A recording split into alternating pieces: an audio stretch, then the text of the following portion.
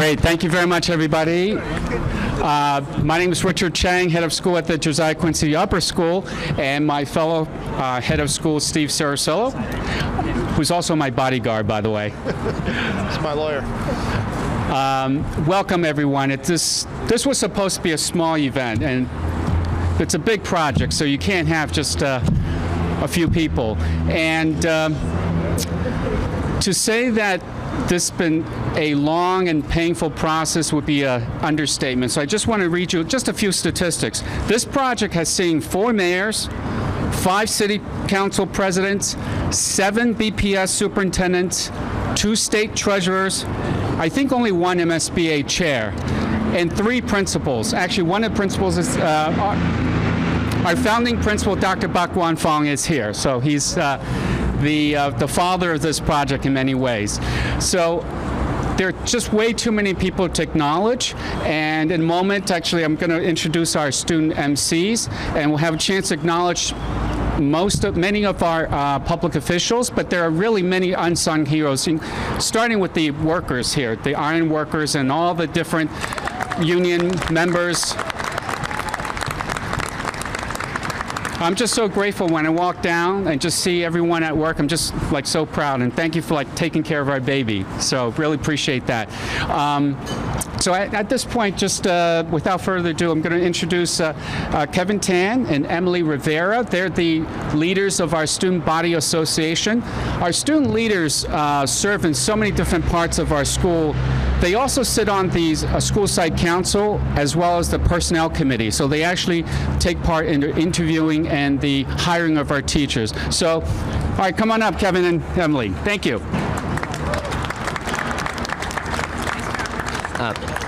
Thank you, thank you, Mr. Chang, for the wonderful speech. I am, oh. um, I am excited to introduce. Um, I am pleased to welcome our wonderful City of Boston Mayor, Mayor Michelle Wu. Please join me in welcoming her to the podium.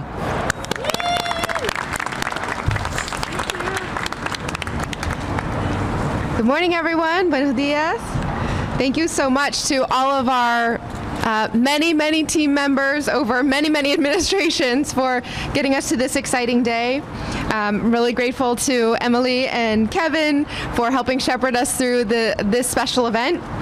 And um, proud to be joining colleagues from the city and the state. Of course, our head of schools and the, the co leadership team, thank you so much for all that you do day in and day out for this school community. Uh, our city council president Ed Flynn, who's a, who's been fighting for uh, this project for a very long time and helping to shepherd it through. Of course, you'll hear from very soon our superintendent. Uh, I'm.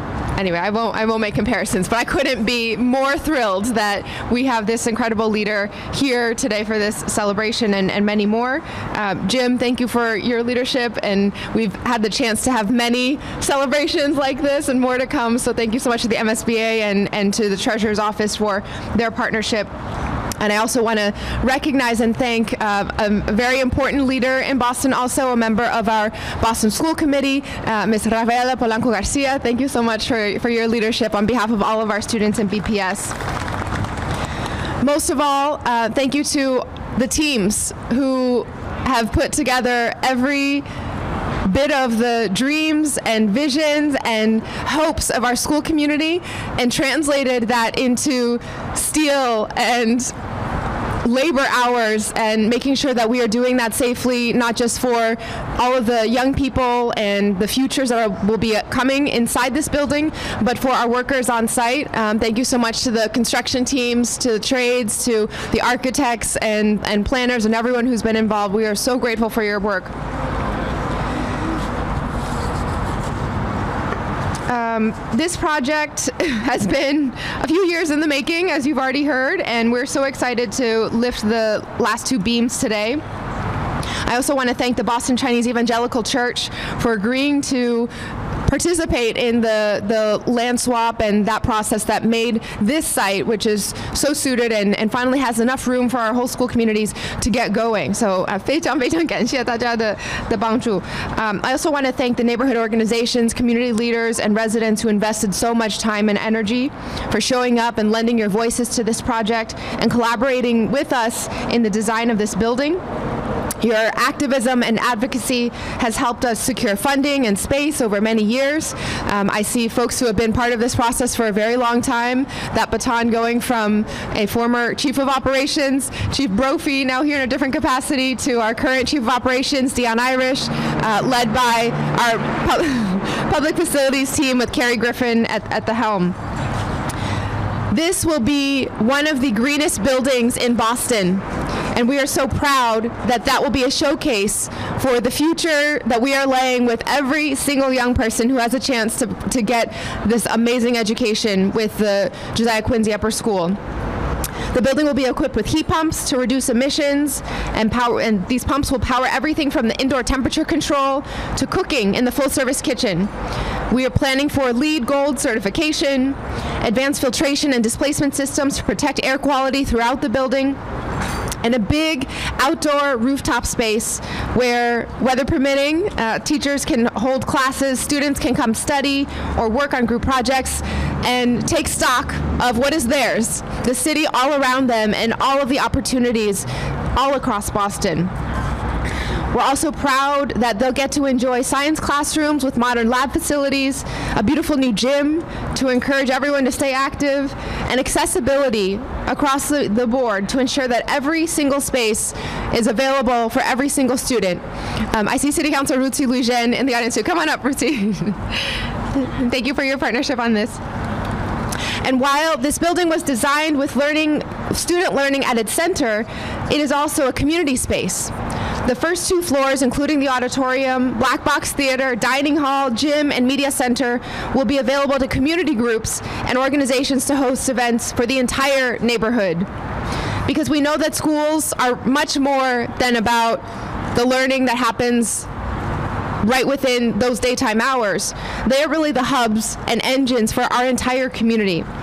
They're where every generation gets connected. Our children and grandchildren, nieces and nephews, friends and neighbors learn to become leaders. And we want to engage the entire community in that necessary effort.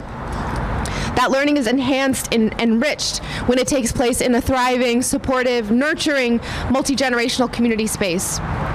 Earlier this year, we announced the Green New Deal for Boston Public Schools, a bold initiative to overhaul our school facilities across the entire district and bring them into the 21st century and to the level that our students and educators deserve. Tomorrow's leaders deserve safe, beautiful, modern environments that are the baseline for high quality learning today. And the climate and community features in this building set a new standard for what we can and should expect from our schools here in Boston, every single one of them.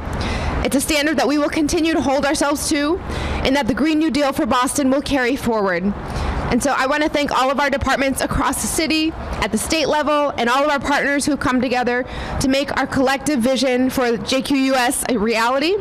It took everyone here and many folks who couldn't be here today to get to this point. And I can't wait to see the incredible art and innovation that you all create in this space in the years to come. Thank you so much.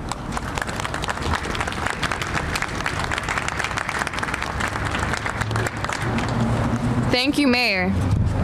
Now I will have the pleasure of introducing Carrie Griffin, the, pu- the Director of Public Facilities, to share a couple of words. Please give a round of applause. Thank you. Thank you and good morning. Uh, let's hear a big shout out for Local 7, uh, Supermetal, the steel manufacturer, and Stearns, the erector, and the whole construction crew.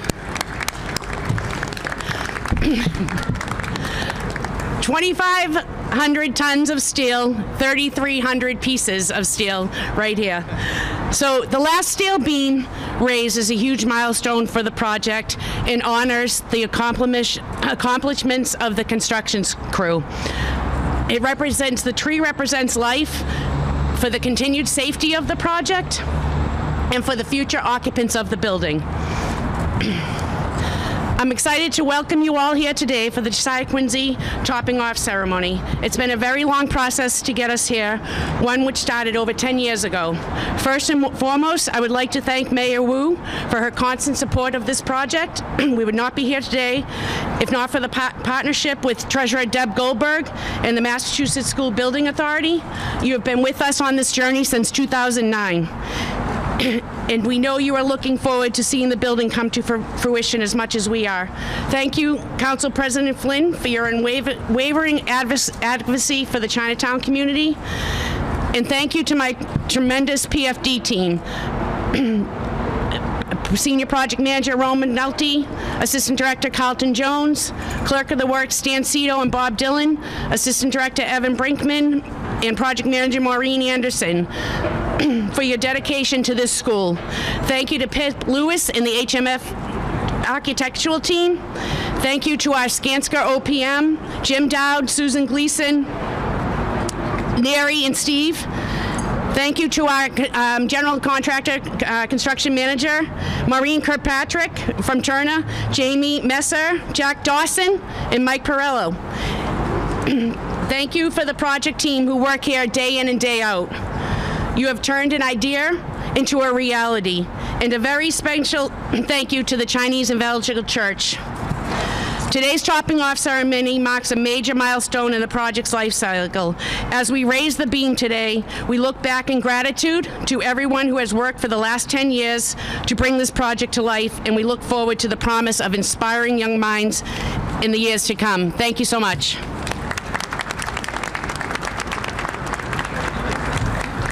Thank you, Kyrie. Um, next, we will hear from Council President Ed Flynn. President Ed Flynn serves or represents Chinatown, South Boston, South End, and Beacon Hill. Please give a round of applause for him. Thank you. I'm honored to be here and to be here with my colleagues in government, Mayor Wu, and, and with City Councilor Ruthzee Louijeune. Um, this project has been going on for 10 years. So under the leadership of, of Mayor Menino and Mayor Walsh and Mayor Janey and Mayor Wu, we want to say thank you to those mayors for their strong leadership getting this to the finish line. I also want to highlight the incredible role of city employees that never gave up on this project, but also the residents of Chinatown that fought and advocated for so many years to build a beautiful school and to build eventually a library in this community. Um, Want to say thank you to the tremendous building trades that are building this wonderful building that's going to be inclusive for all residents, especially our immigrant neighbors that live in and around Chinatown in the South End. Um, Want to say thank you to the school department, all city workers, our building community, building trades community, and especially the, the residents of Boston for never giving up um, hope on building a brand new school for the residents of this community. Thank you very much.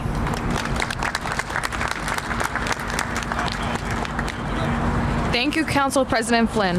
It will now be my pleasure to introduce Superintendent Mary Skipper. She is our education chief. Please join me in welcoming her to the podium. Good morning, everyone. So first, I'd, I'd just like to thank Richard for welcoming us here, uh, Steve, uh, who is also a, a co-principal, uh, to Emily and to Kevin, our outstanding student EMCs.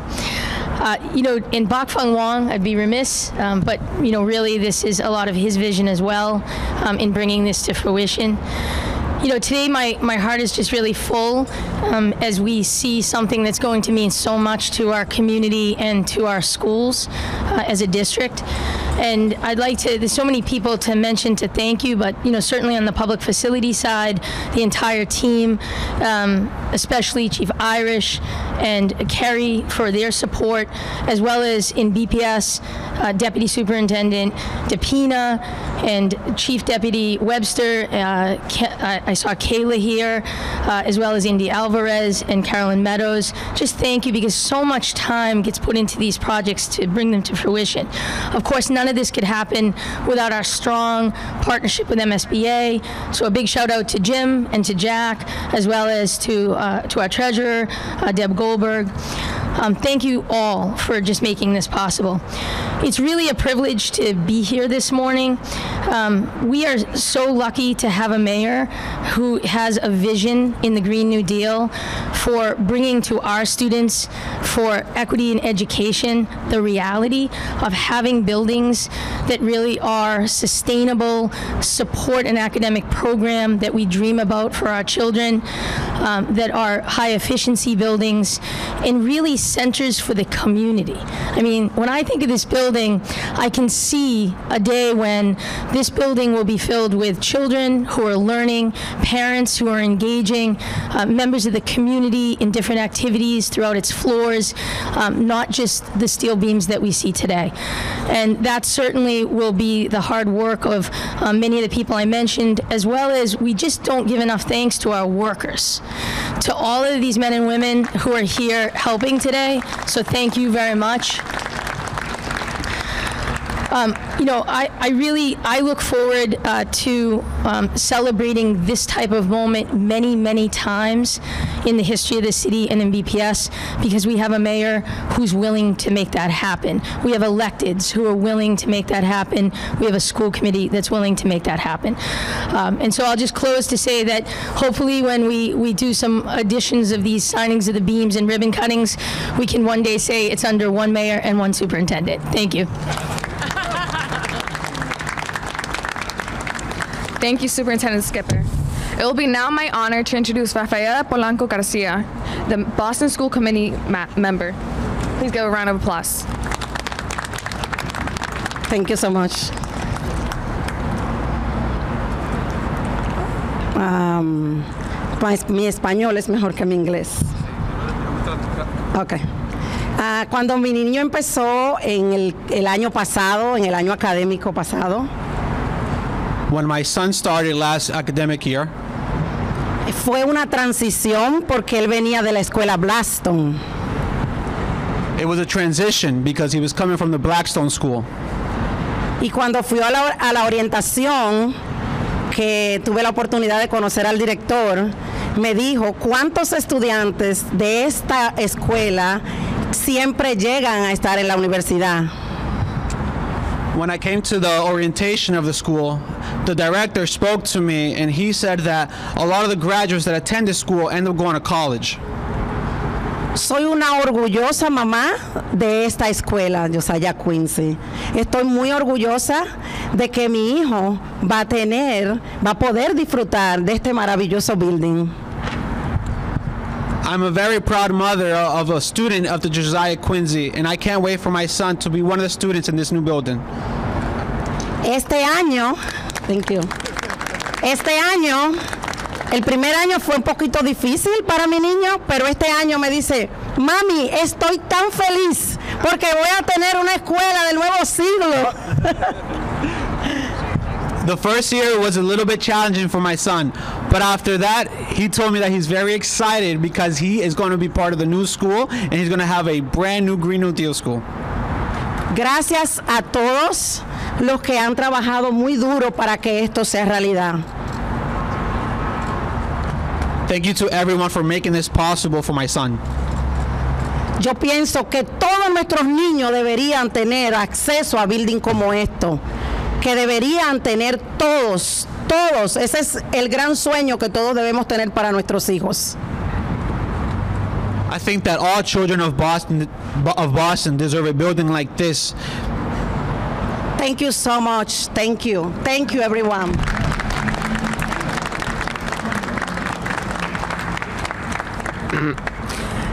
Thank you, Boston School Committee member Rafaela, for her speech. And and now it is my honor to introduce our last speaker of of the day, Mr. James Mc, Jim Mc, Mr. Jim McDonald, first Deputy Treasurer and Chief Executive Officer of the Massachusetts School Building Authority. After that, we will raise the school beam. So thank you. Uh, on behalf of State Treasurer Goldberg, Jack McCarthy, and Maria Popolo, who is with me here today, congratulations on, on achieving this milestone. You know, milestones of, of raising the beam, you know, Kerry gave a little brief history, but it's really a celebration. It's a celebration of uh, not only the Iron Workers Local 7, but all the trades and all the women and men that are going to work on this building, complete it, and you know, make it a showcase not only for the city of Boston, uh, but also for the state, and serve the community. And that's what it's all about. It's about serving your community, your students, and having a place that that really they can come to and and learn and share experiences, uh, and also to to then go on. But you know, the city of Boston has really, uh, really stepped up, and Mayor Wu, uh, uh, Council President Flynn, and, and Superintendent Skipper, and all the team. And also the past teams uh, have really worked hard to to achieve this.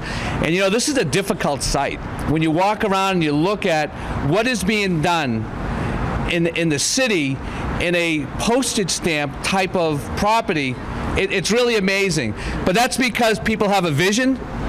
People have hired the talent uh, in order to in order to make it happen. And you know, we usually end with uh, a, a story that uh, Dan Valentine from the Salt Lake City Tribune. He once wrote that a school is four walls with tomorrow inside. And I can tell you, Mayor, Superintendent, Council President, and others, we at the MSBA are so proud of being a part of the City of Boston's tomorrow. Thank you.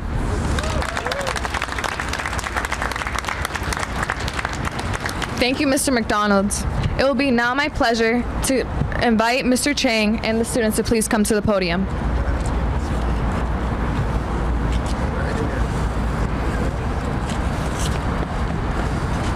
Now, here's the moment you all been waiting for. I guess this is like the New Year's uh, ball drop, except we're going to have the, the the raising. So I don't know. Do we count down? Okay, so 10, 9, 8, 7, 6, 5, 4, 3, 2, 1. Up and away.